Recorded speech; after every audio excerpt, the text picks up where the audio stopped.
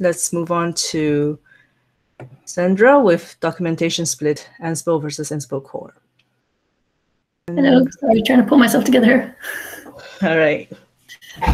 Hello. Um, I just wanted to spend uh, just a little bit of time kind of explaining what we did with the doc sites recently. Um, as we discussed previously in this session, we had um, a number of changes happening between Ansible as the package and Ansible um, base and Ansible core as deliverables. One of the impacts of that um, was that Ansible, the package, has a separate release train now from Ansible core. Um, and initially they weren't synced up um, necessarily. We now are in an area where they will sync up a little bit better, but we basically have two different moving trains. And the documentation site was based on one. Um, if you look at the documentation URL, you will see a version number in there. If you look on the left-hand navigation, you'll also see a, a version option where you can choose which version of the documentation to match your Ansible version. Because they were releasing separately, we decided we needed to separate um, the doc site, so to speak, so that we can attach uh, information based on, you know, which versions we're talking about.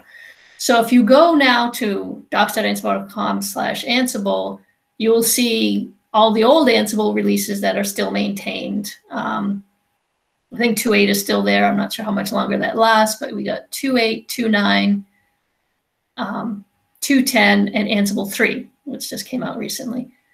Uh, for the Ansible core train, we created a separate doc site, which I'll drop in in the um, chat in a minute.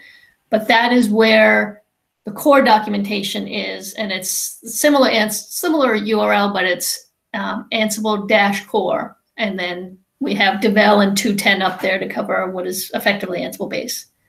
Uh, the biggest differences um, between these two is that Ansible, the package, pretty much has all the documentation you're used to seeing. It covers everything in the package.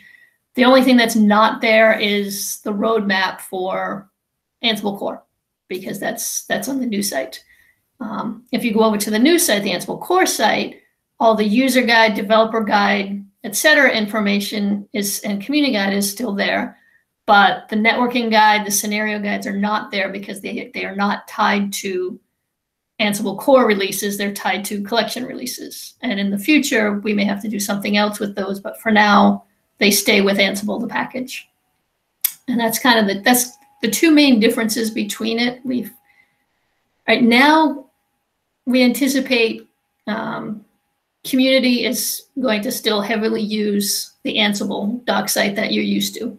That that's where everything that you that you used to see is still there. Uh, we'll evaluate that as time goes by to find out if more people are actually using core and independent collections versus Ansible the package. But that's kind of it's kind of where the split happened and why the split happened.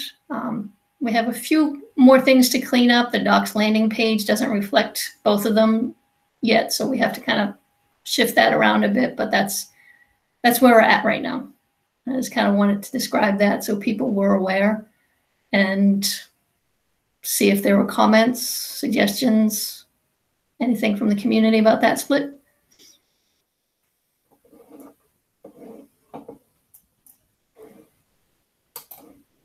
Let me I shared, I shared the links. I'm not sure if those are the correct ones you mentioned.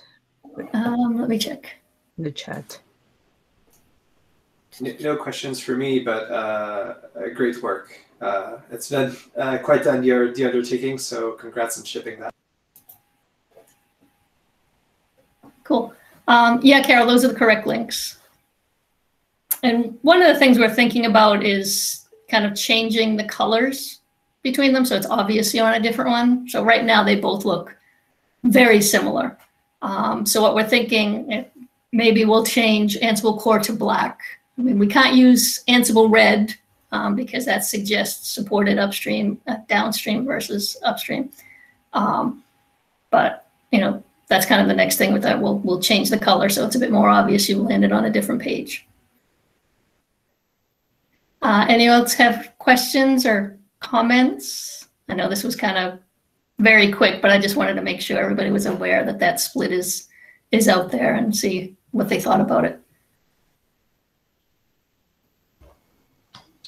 Just as an aside, one thing we'll be looking at probably doing late, I would say later in the year, hand wavy, um, is we're probably going to move the community documentation into its own section. At the moment, that's under Ansible core, which historically was fine because that was the main documentation side, but it did mean that um, the Ansible core version somehow affects how you contribute and stuff. So we're probably going to create a docs.ansible.com slash community, but we'll send out further information on that in the future. Know, one of the things that came up when we were talking about the doc site split is there was some strong feeling that we needed at least one site that had everything. Um, so that's why, you know, we hadn't at the moment considered taking the community guide and, and plopping it somewhere else. But you're right, there, there is no version associated with the community guide for the most part. It's not tied to Ansible the package, it's not tied to Ansible core. Um, but we still have to discuss what's the impact if you go to Ansible, especially since we don't have a site search. You go to Ansible and you can't find um, community information. It's not going to come up in the search because the search is tied to the doc site right now. Any other comments, suggestions, points of pain?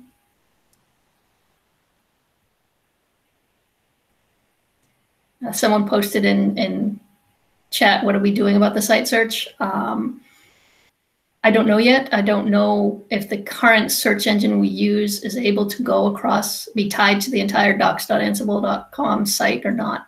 I haven't investigated that. It is a problem, definitely. And it's something, especially if we start separating things more, that we have to solve.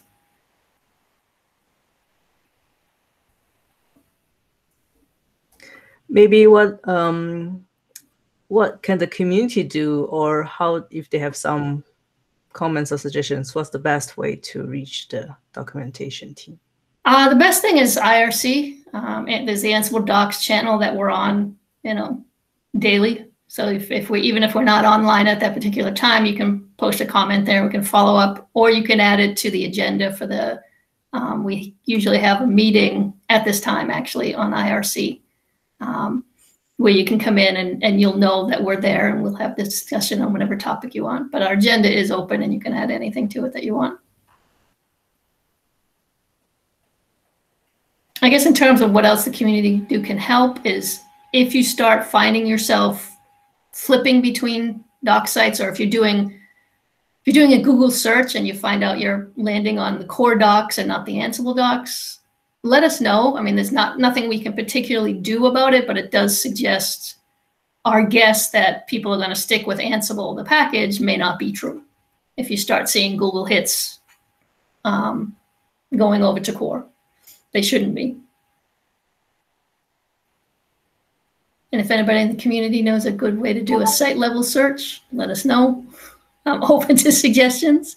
I know we have an existing tool that we use um, per site, you know, per doc site, um, but not sure how that would work across everything or if it would work across everything. Um, edit on GitHub is there. Somebody again posted in comments about the edit on GitHub. Edit on GitHub still works for what we call the static RST files. Um, so the user guide, the community guide, the dev guide. It does not work for any plugins anymore. Um, we had to turn that off because all of those went to separate repos and we don't have a solution in mind yet for how to bring that back or if those repos allow direct edits. Um, so you won't see that anymore on any plugins or modules.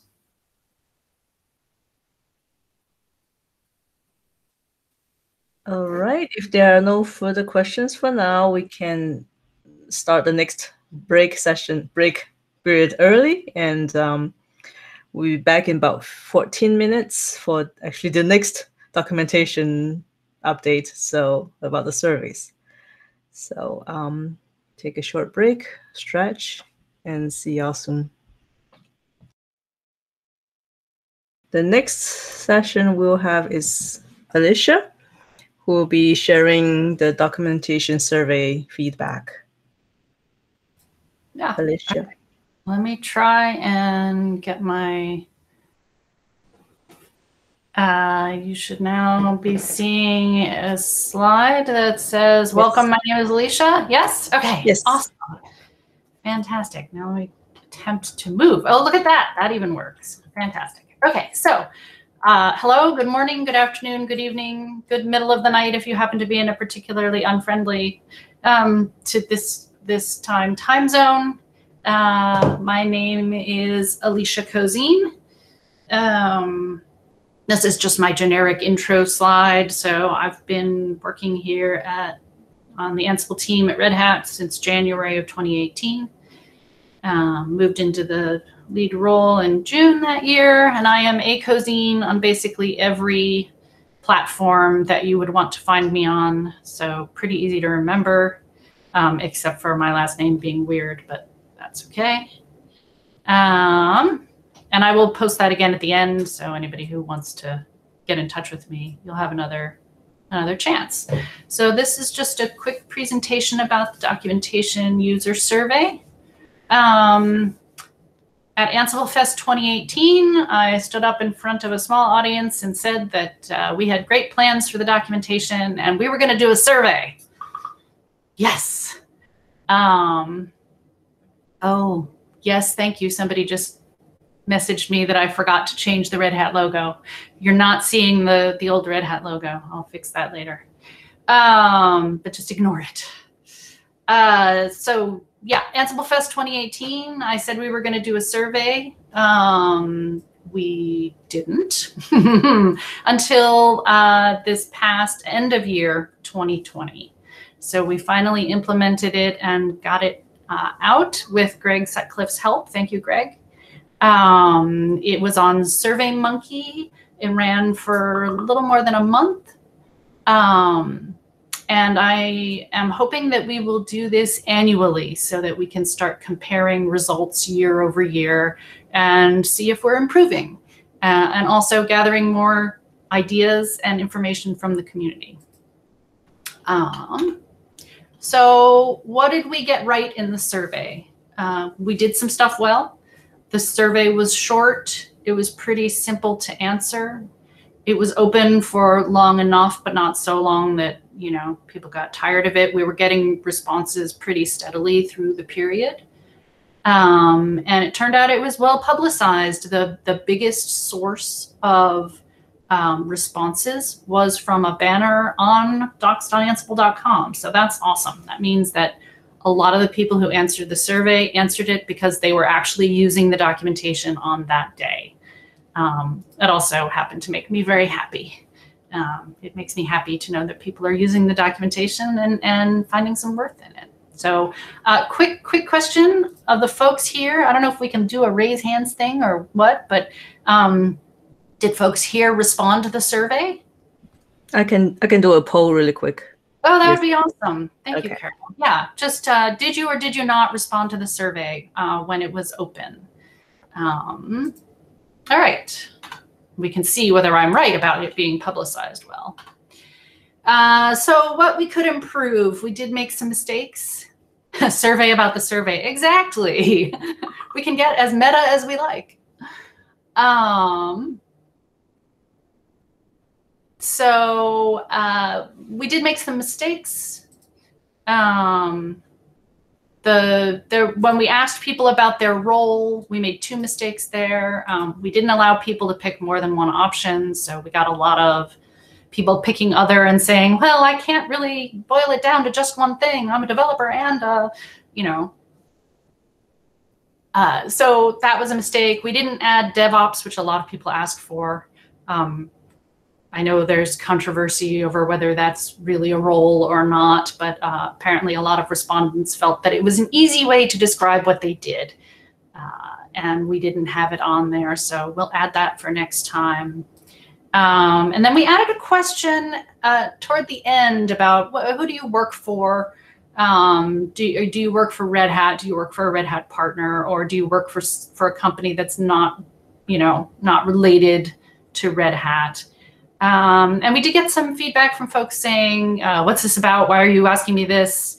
Um, and that possibly we were we intended to privilege um, responses from Red Hatters or from Red Hat customers, paying customers, that kind of thing. Actually, my intention in doing that was the opposite.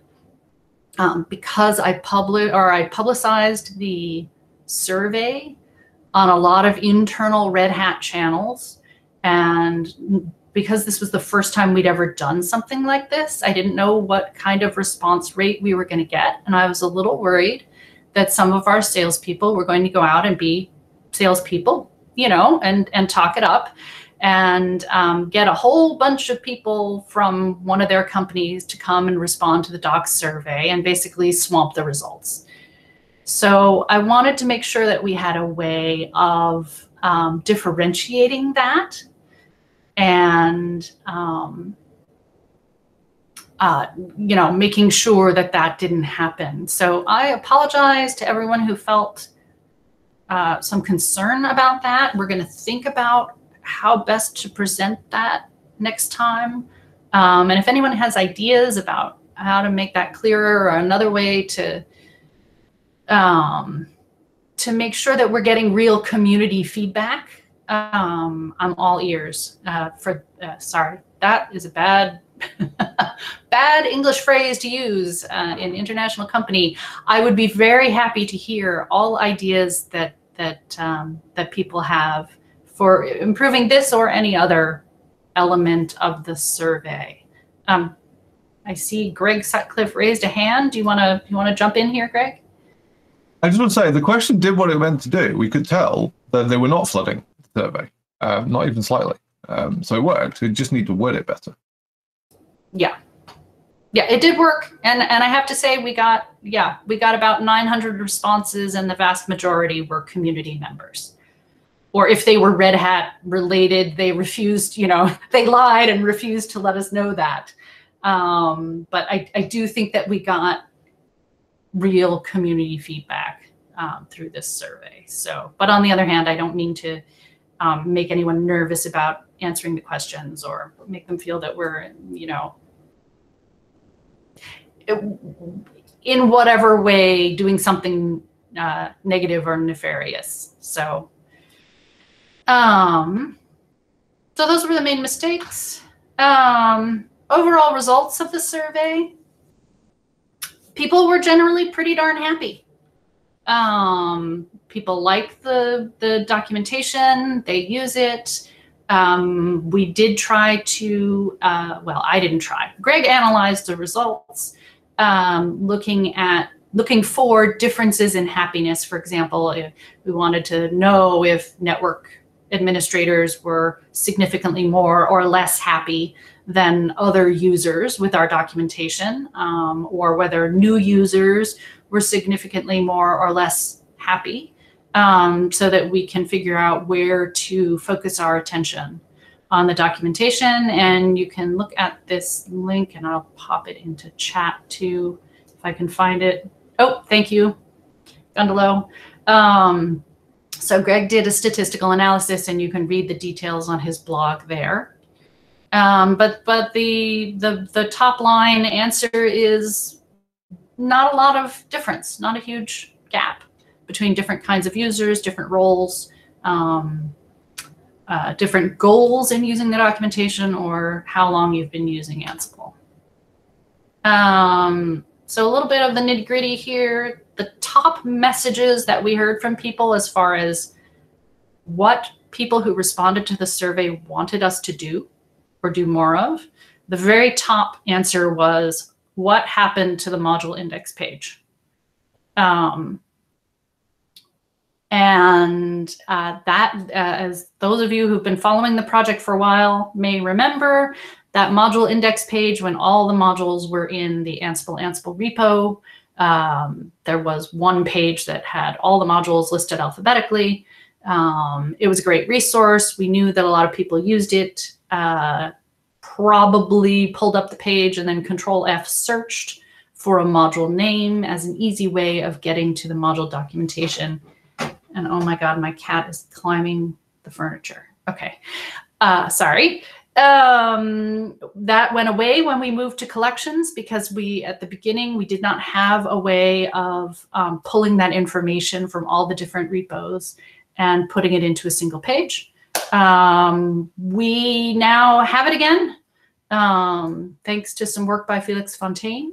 And uh, I have two links here, which if um, nobody else, it looks like, is jumping in to put them in the in the chat. So let me see if I can. Here we go.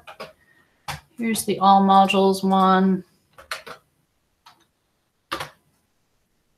And whoops, if I go back, this is the higher level index.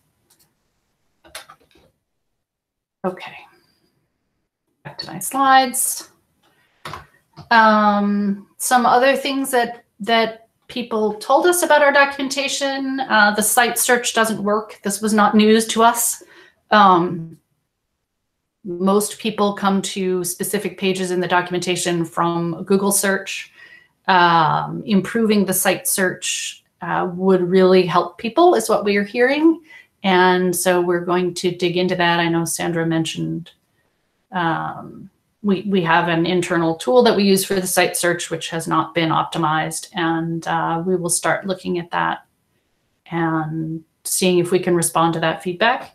Um, another thing that a lot of people said was um, finding things from the left-hand navigation from that table of contents uh, is not easy. It, it doesn't make a lot of sense. So we're going to look at improving that.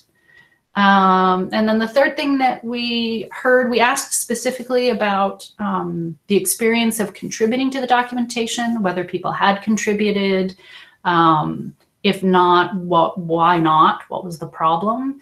Um, and the message from that part of the survey was basically contributing is pretty easy, um, but a lot of people don't do it either because they don't have time or they don't think they have the right skills or anything to offer. Um, so we're going to keep talking publicly and privately about uh, how even newcomers can help improve the documentation. In fact, in many ways, newcomers can improve the documentation more than experienced users um, because the documentation includes more. Uh, the experienced users often don't use large portions of the documentation because they already know that stuff. Whereas a new user is learning about Ansible and can help us make that material better. Um, thank you. That's it. Here's my contact info again, um, as I promised at the beginning. And does anyone have any questions, comments, ideas, suggestions about the docs generally, about the survey? What did, did we get a, an answer on our poll about the survey? Let me check. Uh, we only have six votes. So oh, goodness. Come on. All right, people. How many people are on the call? Let's see. 49. Yeah, yes, we can do better than this. Look okay, at so there's 49 people. There's 49 people on the call. Let's call that 50. That means 12% have replied to the poll. If you take the same fraction as went in the main survey, that would suggest that we had at least what's that? 12. If a thousand is 12%, it's like what, 10,000 users or so. yeah. Looking yeah. through, through this, we know it's a lot larger than that, right? Because we've got the, the, the Adobe Web Analytics for, for actually how many people use the docs. Um, so it's interesting. So already you've got a better fraction answering this survey than the bigger one. yeah. Oh. Be careful right. what you wish for. yeah. All right. Well, if there are no other questions, I will stop presenting. I'll also just make one last plug for the um, the documentation working group. We do meet, uh, as Sandra mentioned, every Tuesday. Um, we're about to change the UTC time again. We we do adapt a little bit to summertime, wintertime.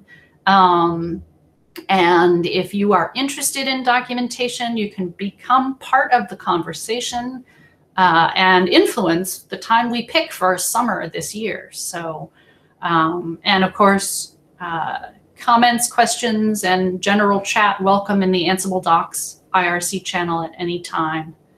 Um, we do we do check it regularly, and uh, yeah, get in contact. We're a fun bunch.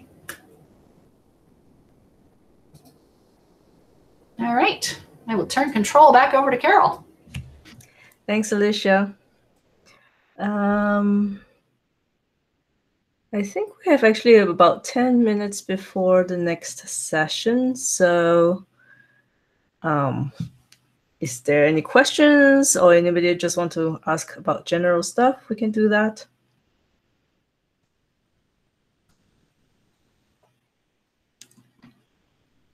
Or if Sivel is on. Ask some pointed questions. Are, are people finding this useful? Uh, let's go for the main question first, right? Give us some, give us some feedback, especially if it's no, right? Because we're happy to change the form. And in fact, yes, yes makes me feel happy, but no gives me something to work with, right? So, um, you know, what what what would people like to see from these sessions, and are they getting it? Is the format right? Would people like something that's more interactive? How could we make it more interactive? How do you just make Gundalow stop asking questions? You know, maybe that's a useful aim for the next time. I, I think it's the aim, Carol, that we're going to do these quarterly, roughly. Yeah, I mean, we, we want to have at least th three times a year. I mean, we did three last year, so it would be nice to keep that momentum. Uh, but if we want to have one every three months, we can probably do that as well. It's just that usually December timeframe, there's a lot of people on holidays, and you know, so it's kind of hard to do that right. Yeah, you're right. I, I misremembered it was three last year. Yeah. Yeah, and if Ansible Fest is in October, then usually we will attach one to that. So, yeah. Thank you, Chris.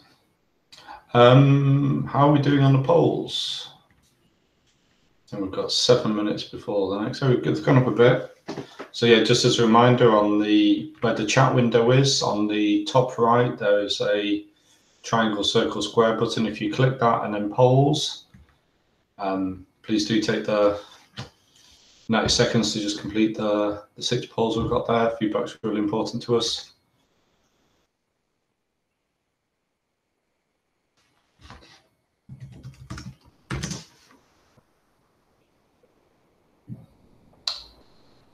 Good morning. Are we still are we still doing a hackathon tomorrow, uh? Yeah, so it's going to be sort of like a an open office hours drop into IRC. It, it won't be on on video, I don't believe, Carol.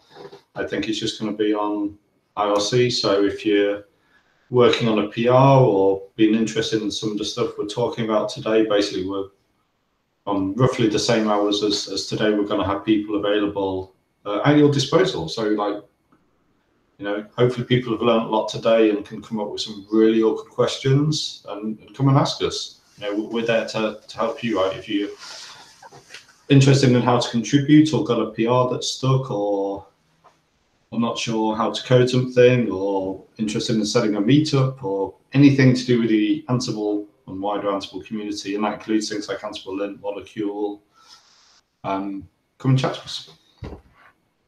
Yep, it's not going to be a video conference like this one, but um, we want to set aside a day where we will be available for for the community. I mean, in general, a lot of us hang out on IRC all the time, but you know, to to actually uh, dedicate some time, especially right after the contributor summit, where all these topics are fresh in your mind, so you can you know give some thought to it and then share your questions and feedback and everything, and also perhaps work work on some issues together during during the hackathon tomorrow.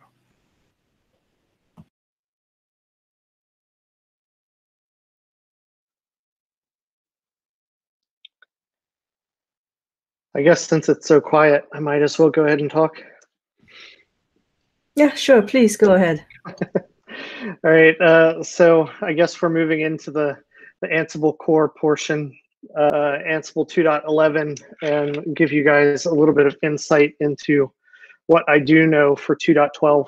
Uh, so for 2.11, we had a couple of items on our to-do list uh, for the roadmap, which were to add uh, role argument spec functionality uh, to improve the uh, looks like someone just posted the roadmap in to improve the UX of the Ansible Galaxy collection install command specifically to add upgrade functionality to sort of a sort of um, mimic uh, pip and we actually switched over to using uh, the new python resolvelib which pip will be using going forward as its uh, dependency resolver and the one other big ticket item was to make modifications to ansible tests to do split uh, controller and target testing.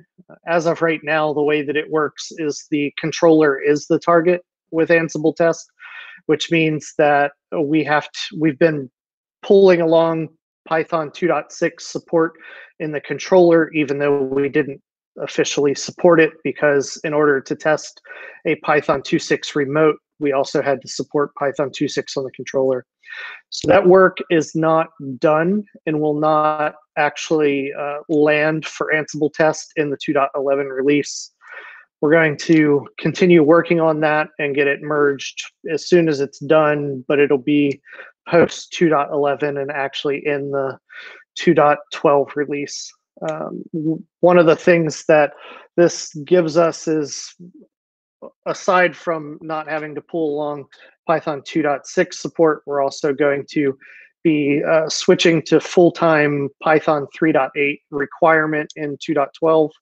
So in order to do that, of course, we have to get the split split controller stuff working. Um, so 2.11 will not Just, be dropping Python 3.8 support. That's um, uh, a soft requirement. It sounded like Nitz wanted to. I just said, and just to clarify, that's just three eight for the controller, not yep. not remote targets. yep. Um, yeah, so just controller side, not targets. Targets will continue to support Python 2.6 as the minimum, and at some future date, we will discuss when we need to move that goalpost a little bit uh, farther so that maybe 2.7 is the minimum instead of 2.6. Uh, it was also just mentioned in chat that one of the other things that we've uh, made a modification to is uh, in how uh, modules uh, have the ability to respawn now, kind of like how we do interpreter discovery, modules can uh, opt into behavior to respawn themselves to try to find an interpreter that has the correct dependencies needed uh, to operate. So a big example would be something like the Yum or DNF modules or the apt module, packaging modules specifically because of the OS uh, packages only give uh, Python support usually to the default system Python and not just any random Python you have installed.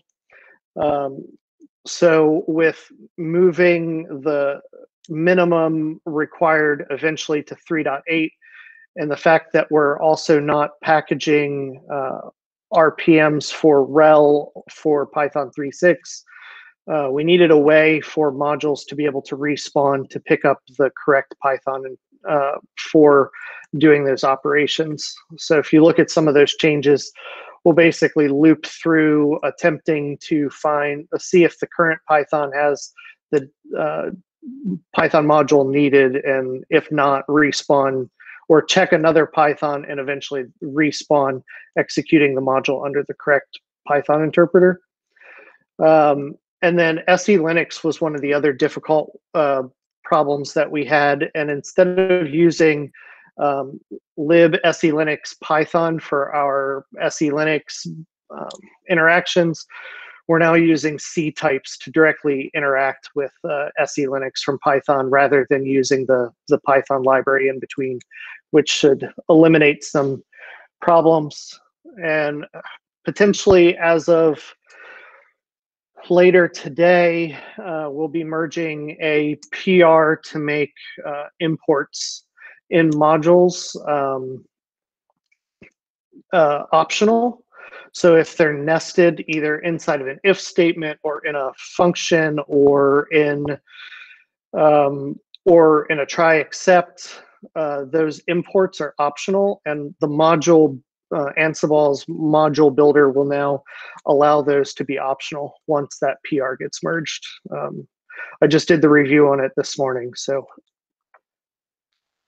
uh, and Nit said he can talk a little bit more about that. Uh, Nitz, you can go ahead and do that before I, I jump into anything 2.12 related. Okay, sure. Uh, yeah, so uh, James Cassell just asked if there what are the drawbacks of using C types to talk to SE Linux. Um, the the only real thing is just that you know obviously the libse Linux Python uh, provides a very large surface area over the you know a very large wrapper surface area over the SE Linux uh, stuff that is provided by the underlying libse Linux uh, C library, uh, and and there are objects and some other things that that we aren't providing any of that. Like the base, the stuff that that Ansible itself uses for SE Linux, like in the core in in like basic.py, uh, and is very small. Like we had, I think there's like there's less than 10 calls that we had to make and we weren't using any of the object stuff for that um, so rather than trying to we actually tried a couple other approaches before we went to c types and c types ended up being just the, the easiest way to get the thing done um, you know those th- those things haven't really changed in the uh, it's funny because if you look at the the code around this stuff a lot of it still had michael dehaan's name on it like those lines of code have literally not been touched in like eight years so uh, it was it was a pretty straightforward thing to cut it over uh, to the C types wrapper for the stuff that's in basic.py. Um, and then for the rest of it, uh, so for the things that are in like Ansible.POSIX, those things will need to be updated to use the new module respawn functionality to get uh, SE Linux, uh, you know, to pick up SE Linux. But especially for the stuff that was in basic.py, uh, module respawn was just not practical because we don't know who all's using that, right? Like we don't know what their Python requirements are. When we're talking about the core modules, we know that there's no specific Python deps other than SE Linux, but that's not necessarily the case for any arbitrary other module that someone may have written. So having that um, having that SE Linux just kind of work in whatever Python you happen to bring was really important, which is why we ended up doing the C types thing. It was just kind of the fastest path to that.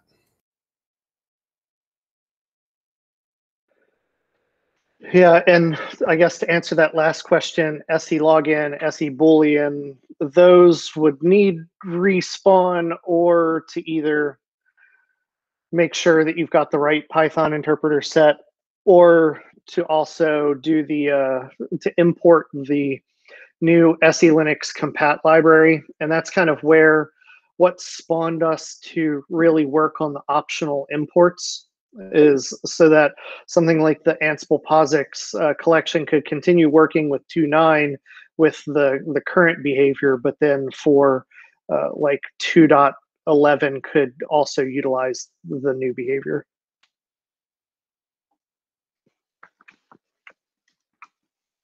So once we get that taken care of, uh, get that merged, then we can we can work with the Ansible POSIX maintainers as well, or su- just you know submit a PR and get that that merged for those to be able to to function that way. Yeah, and obviously we need to get that the the intent is to backport that optional module utils behavior back to 2.9 because otherwise yeah, it's kind of pointless until until that's done. Yep. Once once that happens, then yeah, those uh, those collections can be updated. And for you know as long as they're running on a current version of 2.9 that has that backported feature um, then the same collection can work all the way from 2.9 to 2.11 and, and beyond.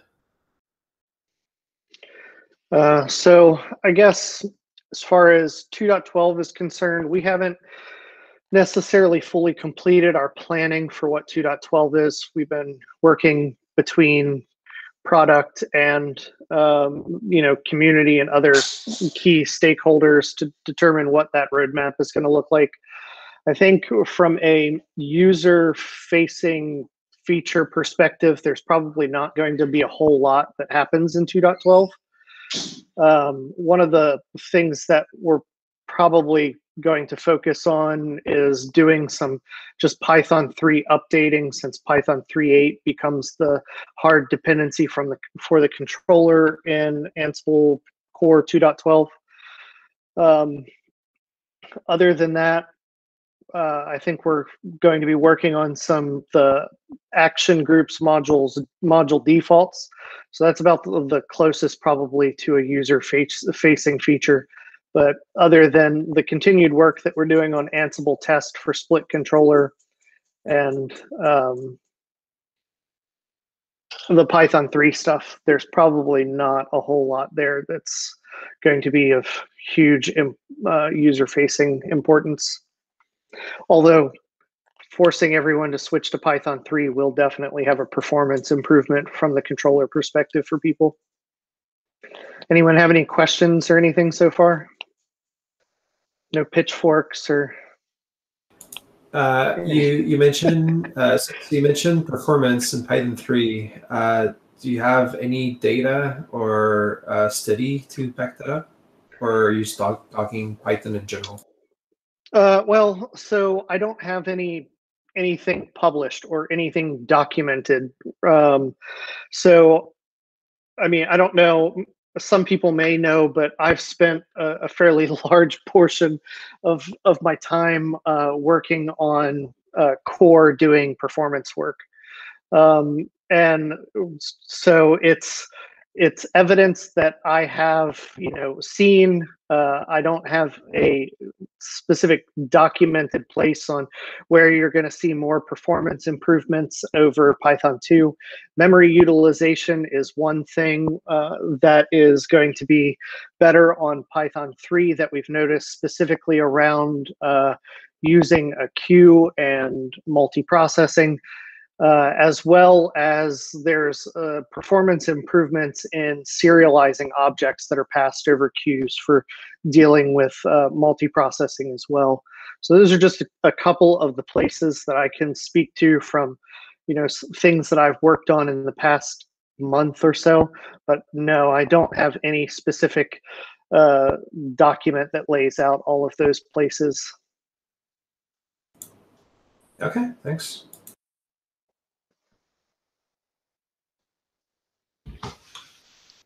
Sivel, there's a question in, in IRC. Oh, sorry, I'm. That's all right. I know it's it's difficult with Google Chat and IRC. Yeah, yeah, two two different places. Um, I guess hope that Ansible Core 212 will also have more role docs things. Uh, I don't know specifically. There's not been anything really discussed from a perspective of uh, or at least that I'm aware of on what documentation we need to extend more there. Not that I'm against it, and I imagine that at least most of that work would be fairly minimal in the scope of most of the things that land on the roadmap. Uh, as far as test and filters documentation, that's something that we've been talking about for a while. It's just it's not something that had been prioritized, but I think potentially with 2.12, we'll probably have maybe some freedom to go work on that. Um, to and in I guess full disclosure, uh, we're sort of loaning out some developers from the core team to work on some product level um, tooling as well, which is sort of going to impact the core team's, uh, uh I guess, ability to handle larger workflow work uh, workloads in the 2.12 release. So I guess we'll have to see where it goes and what we have time there for. But it's uh, at least from my perspective of uh, coming up with the roadmap and uh, creating project teams to work on it. Those are not necessarily items that are going to be scoped for for a full project team to work on, but we can definitely talk about uh, trying to include some of that work in there as well. I don't know exactly. We've had multiple discussions about how to handle docs for uh, tests and filters. And I guess to frame that a little bit for anyone who's not clear on it, most of our plugins are a one to one ratio, meaning that the Python file and the plugin is a one to one. So a lookup plugin is implemented in a single file. Uh, a callback plugin is implemented in a single file, um, whereas with tests and filters, they kind of act as each filter and test is a part of a larger plugin file. So there could be hundreds of tests or filters provided by a single plugin file. And our current way of documenting via the documentation uh, variable that houses YAML isn't built to work for that. Uh, so we've discussed doing some things like sidecar documentation, which would be, you know, files that live adjacent to the Python that are just YAML themselves that allow us to do that documentation, or potentially using Python doc strings in the actual Python file to provide those um, that documentation. But we haven't really come to any agreement on which way is the best way forward. Um, yeah, and like uh, Nit said, sidecar documentation is is a win for non-Python plugins as well, which means that you don't also have to have a dot .py file that has YAML embedded in it. Yeah. You shouldn't have to use Python doc strings. You can just do a list inside of or dict inside of a documentation variable if you want to keep it in the Python file. Yeah, I don't know that we support a dict for that currently, but yeah, I think we would Yeah. probably move to something other than a Python file for the sidecar documentation if we extend that further. Yeah. Less a question than more a, a statement of hope. Yeah, so we'll see what we can do about that. I'll put it on my agenda to discuss, you know, a little bit more internally, and if you want, feel free to add it to um, the core IRC agenda as well. And, and let's just say that some of the other work that's happening, uh, it align some of the other work that's happening where that core is loaning resources to other teams to do, it fits in nicely with, and more to come. Yeah, and another thing that we're kind of going to be working on in uh, through the 2.12 release, and this is not a Ansible core feature, but the at least some of the core team will be working on some ad hoc uh, development tasks to write some tooling around migrating to collections. So many months ago, I had written a proof of concept tool just as a, a side project to you know have a little fun with for you know basically pointing to a role in a collection and this roughly 200 lines of code will copy over the the role into a collection renaming files moving files into the correct places. So we'll see where exactly that goes but that's something that we plan on working on and making available to the larger community instead of just sitting in a gist somewhere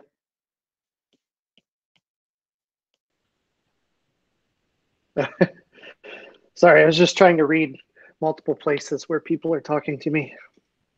So apparently Gundalow has difficulties listening and, and typing at the same time.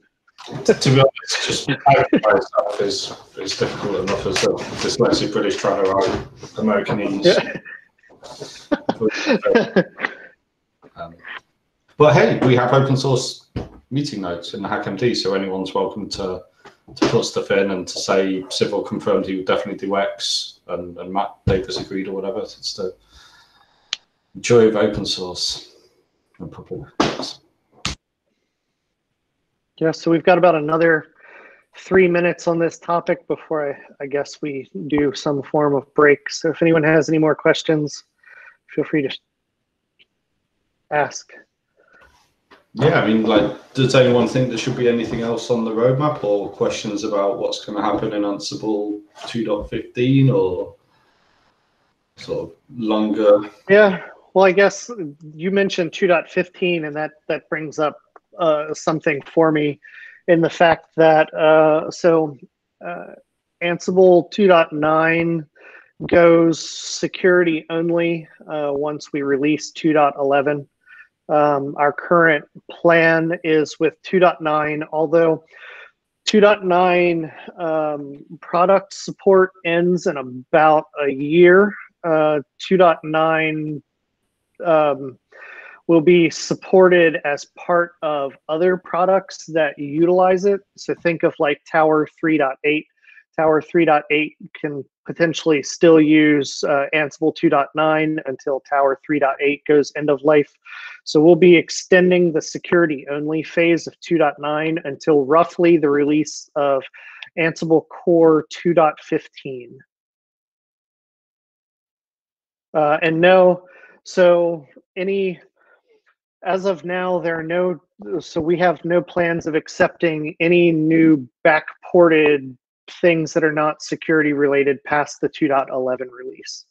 So the um, the optional module imports will go in before uh, 2.11 is released, and then 2.9 for the remainder of its life will be security only, basically to support those uh, longer um, life cycles that some of the other products have.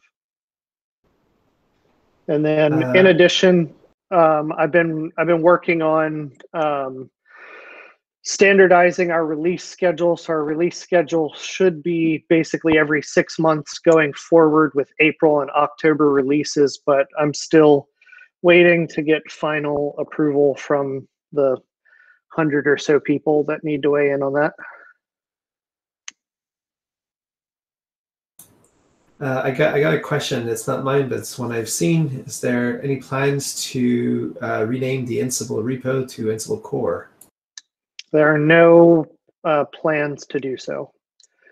Um, I guess for one, it's a little bit complicated because the Ansible core package provides the actual underlying Python Ansible package, even though, or the Ansible uh, module, even though the Ansible package exists. So it's a, it's a little it's a little complicated there, but no, there are no plans to rename the repository.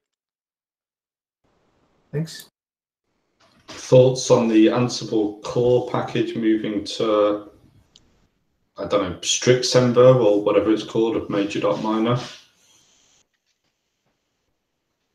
Yeah, we haven't. I mean, we've discussed it that it would be a nice thing to potentially have Semver in the future. Um, I don't know. I just read a. I just read an interesting blog post the other day that Semver will not save you. Uh, so I mean, we're not necessarily in a hurry to to jump to Semver. It probably makes it a little more. Uh, look, there it is. Uh, so Svat just posted it in uh, the chat here in Google Meet. Um, but it, it probably makes it easier for some people to make uh, assumptions based off of the versioning.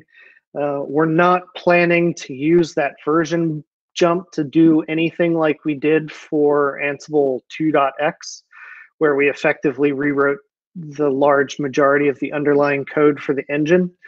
Um, so we're not planning to use that as a crutch to just go rewrite a whole bunch of things. Our plan is effectively to uh, smaller incremental changes that allow us to effectively over several releases get to that point we're, we're kind of rewriting code but doing so in a backwards compatible way um, but no at the moment we don't have any plans about when that would happen or that we're explicitly doing it so like i just mentioned i've already planned out sort of to what 2.15 looks like largely because of the 2.9 deprecation period or when it will go end of life. Yeah, that's good. And I, I, I hadn't heard about, even if it does happen, it wouldn't be like Ansible 1 to Ansible 2 where platform porting, I, I think we've. Yeah, we have we have this tendency. Yeah, we have this tendency of saying, "Oh, that's a 3.0 thing," and that's not necessarily uh, meaning that it will land in 3.0, but sort of in order to easily enact that change, we're looking at a, a, rewrite level event type of thing, which would probably result in us having to come to grips with uh, how to deal with the versioning of that. Which, like, let's say that we wanted to rewrite the variable manager. Variable manager is always a hot topic that we have internally about its performance and just some of the things that that we deal with there. So if we wanted to make the variable manager more performant and it's going to require a fairly large rewrite, how do we handle that in a way that's not backwards incompatible? Do we have to make it backwards incompatible? How do we adjust the API version? So we'll we'll sort of see see where we go, but we haven't reached a point where we're like we definitely need a 3.0. So if we go with 3.0, it'll just be because we decided to change how we handle versioning and not because we've decided to rewrite 50% of the code. All right. Um, I think- we are quite we're a few minutes um, past the uh, allotted time, but uh, thank you so much for the the discussing this 2.11 and 2.12 and going forward. Yeah, please continue the discussions on chat and IRC as usual. Uh, we will take a break now because I think for several of us it has been a really long day, and we do have still five more sessions to go. So take a good rest. Uh, it will be until half past the hour, and uh, I'll set a timer for 21 minutes. Thank you so much. Gotta go. Thanks very much, everyone. I'll see you again. Thanks.